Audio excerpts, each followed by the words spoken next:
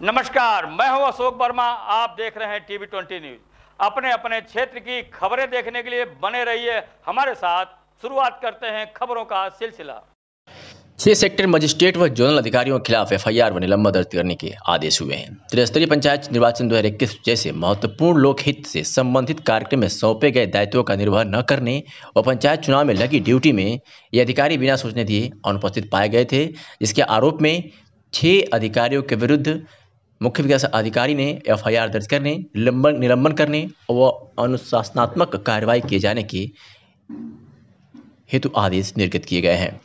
बता दें कि पंचायत चुनाव में लगी ड्यूटी में अनुपस्थित पाए जाने पर इन अधिकारियों पर कार्रवाई हुई है। डिस्प्ले पर चल रही लिस्ट में, जारी लिस्ट में आप देख सकते हैं कि इन छः अधिकारियों के नाम क्या हैं और किस जगह पर इनकी तैनाती हुई है।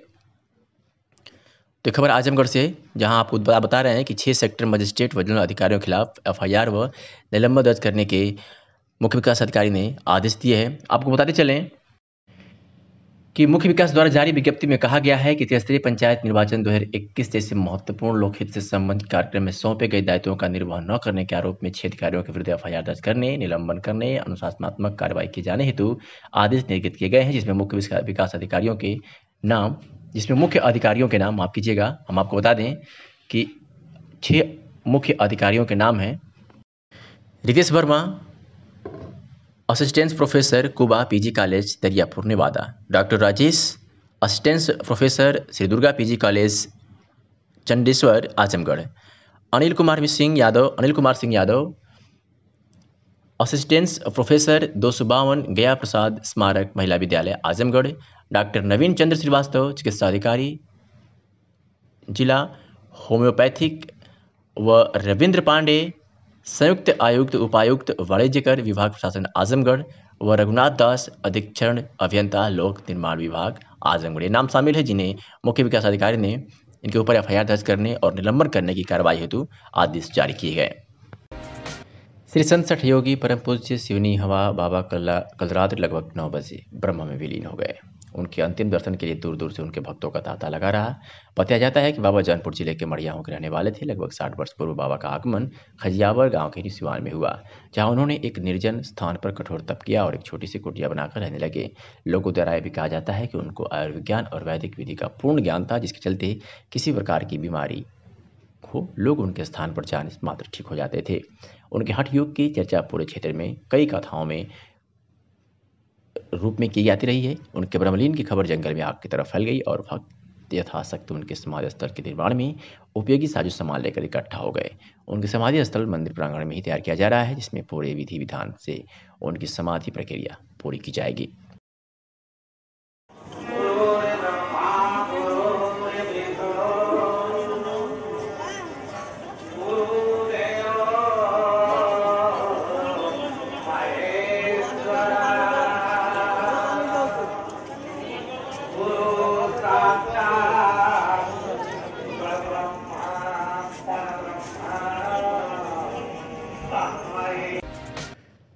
आज पुलिस मुठभेड़ में सातिर अपराधी व हिस्ट्री शूटर गिरफ़्तार हुआ है।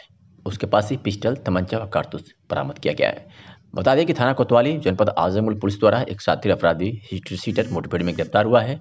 उसके कब्जे से एक नाजायज़ पिस्टल, कारतूस फायरशुदा खोखा कारतूस बरामद किया गया है। पुलिस अधीक्षक आजमगढ़ सुधीर कुमार सिंह द्वारा चलाया जा रहा अभियान, अपराध नियंत्रण, अपराधियों की गिरफ्तारी एवं आगामी त्रिस्तरीय पंचायत चुनाव क्रम में अपर पुलिस अधीक्षक नगर पंकज कुमार पांडे तथा क्षेत्राधिकारी नगर निष्ठा उपाध्याय के कुशल पर्यवेक्षण एवं नेतृत्व में थाना कोतवाली पर अलग अलग टीम गठित कर अपराध अपराधियों की धरपकड़ करने हेतु लगातार अभियान चलाया जा रहा था और संदिग्ध व्यक्ति वाहनों की चेकिंग की जा रही थी।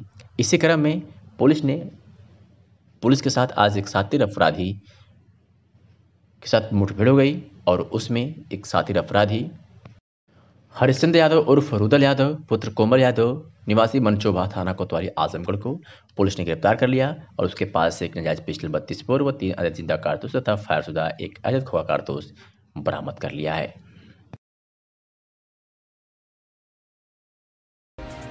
अंबेडकर नगर जनपद में 35 घंटे के लॉकडाउन को लेकर जिला प्रशासन पूरी तरीके से अलर्ट है। आवश्यक सेवाओं को छोड़कर सभी प्रकार की दुकानें, प्रतिष्ठान और कार्यालय बंद नज़र आ रहे हैं। सड़कों पर सन्नाटा पसरा है। कल रात आठ बजे से शुरू हुआ लॉकडाउन। कल सोमवार सुबह सात बजे तक चलेगा। पुलिस टीम लॉकडाउन को सफल बनाने के लिए जगह जगह सड़क पर मुस्तैद नज़र आ रही है तो इस सड़कों पर इक्का दुक्का लोग देखे जा रहे हैं।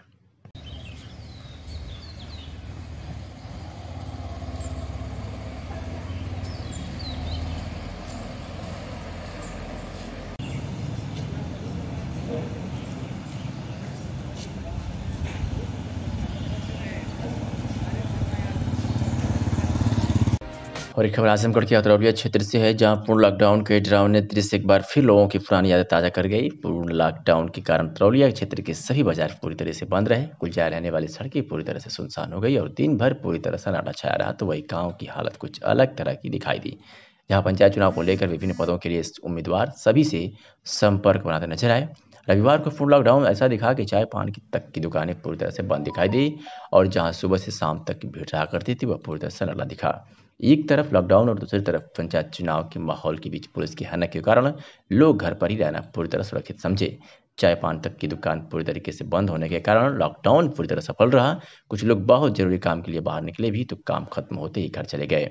पूरे क्षेत्र में केवल ज़रूरी वस्तुओं को छोड़कर किसी प्रकार की दुकान नहीं खुली। वही प्रशासन के लोग बराबर चक्रमण कर पूरे क्षेत्र पर निगरानी बनाए रखे। और एक बड़ी वायरल खबर हम आपको दिखाने जा रहे हैं, जिसमें टिकट न मिलने से आक्रोशित कार्यकर्ताओं ने पूर्व सांसद की पिटाई कर दी है, जिसका अब वीडियो सोशल मीडिया पर जमकर वायरल हो रहा है। पैसे लेकर टिकट देने का ये मामला बताया जा रहा है, और आरोप है कि एक सांसद को ही आक्रोशित कार्यकर्ताओं ने टिकट न मिलने से पिटाई कर दी। जिसका अब सोशल मीडिया पर वीडियो जमकर वायरल हो रहा है। बता दें कि टिकट न मिलने से आक्रोशित कार्यकर्ताओं द्वारा एक पूर्व सांसद को उनकी गाड़ी से खींच कर पिटाई की गई है। वीडियो में पूर्व सांसद गाड़ी में बैठे हुए और कार्यकर्ताओं द्वारा उन्हें उनकी गाड़ी से बाहर खींचने का प्रयास किया जा रहा है और पिटाई भी की जा रही है। आप देख सकते हैं कि किस तरह नेताजी को गाड़ी से खींचकर नाराज़ कार्यकर्ताओं ने पिटाई कर दी है। और इस वायरल वीडियो की टीवी ट्वेंटी न्यूज़ तो पुष्टि नहीं करता। हकीकत क्या है? लेकिन ये तस्वीरें जैसे ही टीवी ट्वेंटी न्यूज़ को प्राप्त हुई, एक समाचार के माध्यम से आपको दिखाने की कोशिश की और ये बताने की कोशिश की कि कार्यकर्ता आक्रोशित होकर कैसे कैसे कदम उठा सकते हैं, इस तस्वीरों को देख करके आप अंदाज़ा लगा सकते हैं? सूत्रों के मुताबिक यह पूर्व सांसद बसपा का बताया जा रहा है, जिसकी कार्यकर्ताओं ने टिकट ना मिलने पर जमकर पिटाई की है। तस्वीरें देख सकते हैं कि किस तरीके से इस पूर्व सांसद की पिटाई की जा रही है। और अब इसका वीडियो सोशल मीडिया पर वायरल हो रहा है। इस वायरल वीडियो की हकीकत क्या है? टीवी ट्वेंटी न्यूज़ इसकी पुष्टि नहीं करता है। द्वितीय चरण के मतदान को सकुशल संपन्न कराने के लिए रविवार को ब्लॉक मुख्यालय से पोलिंग पार्टियाँ जिलाधिकारी बोडनपुर तथा नायब तहसीलदार धर्मेंद्र सिंह के देखरेख में अलग अलग बूथों के लिए रवाना कर दी गई। अतरौलिया ब्लॉक में त्रिस्तरीय पंचायत चुनाव को संपन्न कराने के लिए 190 पोलिंग पार्टियाँ रवाना की गई, जिसमें आठ सेक्टर मजिस्ट्रेट तथा दो जोनल मजिस्ट्रेट सम्मिलित हैं। इन लोगों की निगरानी में सभी पोलिंग पार्टियों को ब्लॉक मुख्यालय से रवाना कर दिया गया। ब्लॉक मुख्यालय में स्वास्थ्य कर्मियों द्वारा सेक्टर मजिस्ट्रेट तथा जनरल मजिस्ट्रेट को कोरोना काल में सुरक्षा के दृष्टिकोण से दस दस PPE kit glove sanitiser, mask आदि की व्यवस्था कराई गई। ब्लॉक परिसर के बाहर भारी संख्या में वाहन पोलिंग पार्टियों को ले जाने के लिए खड़े थे। सभी पीठासीन अधिकारी अपने अपने बूथों के बैलेट बॉक्स के साथ बॉक्स को सील कर वाहन पर ले जाते हुए नज़र आए। क्या कुछ कहा इस बाबत जिला मजिस्ट्रेट बुढ़नपुर ने, सीधे आपको सुनवाते हैं। आज त्रिस्तरीय पंचायत चुनाव को दृष्टिगत रखते हुए आज पोलिंग पार्टियाँ विकासखंड मुख्यालय अतरौलिया से रवाना हो रही हैं। 190 पोलिंग पार्टियाँ हैं, जिसमें आठ सेक्टर मजिस्ट्रेट और दो जोनल मजिस्ट्रेट हैं। सभी सेक्टर मजिस्ट्रेट और जोनल मजिस्ट्रेट के निगरानी में सभी पार्टियाँ मुख्यालय से प्रस्थान कर रही हैं। तो सेक्टर मजिस्ट्रेट और जोनल मजिस्ट्रेट को क्या विभाग से क्या दिया जा रहा है? सेक्टर मजिस्ट्रेट और जोनल मजिस्ट्रेट को एहतियात के तौर पे बाकी सब चीज़ें तो दी गई हैं। विशेष तौर से उनको दस दस पी किट और दस दस गागल्स सुरक्षा के दृष्टिकोण से दिए जा रहे हैं कि अगर किसी पोलिंग बूथ पर कोई कोरोना संक्रमित मतदाता पाया जाए तो उन्हें पीपी किट पहना करके सबसे अंत में वोटिंग कराई जाए। कल कितने बजे से मतदान? कल मतदान सुबह सात बजे से प्रारंभ हो जा करके शाम छः बजे तक चलेगा में कोरोना के मामले बढ़ते कोरोना मामले को बढ़ते हुए देखते जहाँ मुख्यमंत्री योगी आदित्यनाथ ने यह घोषणा किया कि इस ज़िले में कोरोना संक्रमित व्यक्ति ज़्यादा पाए जाते हैं उस ज़िले को शनिवार और रविवार लॉकडाउन घोषित किया जाए और जिस ज़िले में कम संक्रमित मरीज़ पाए जाते हैं उस ज़िले को रविवार को लॉकडाउन घोषित किया जाए। उसको लेकर आज आजमगढ़ जिला पूरी तरीके से नागदा में देखा जा रहा है। सभी दुकानें बंद हैं और आने जाने वालों को कोई रोक लगाया गया है जिसको भी इमरजेंसी कम बाहर निकल रहे हैं। जैसे दवा लेना डॉक्टर को दिखाना ऐसी सुविधाएँ खुली हुई है। ऐसे में हमने एक स्थानीय नागरिक से बात की। क्या कुछ कहा? सीधे सुनवाते हैं आपको। क्या नाम है?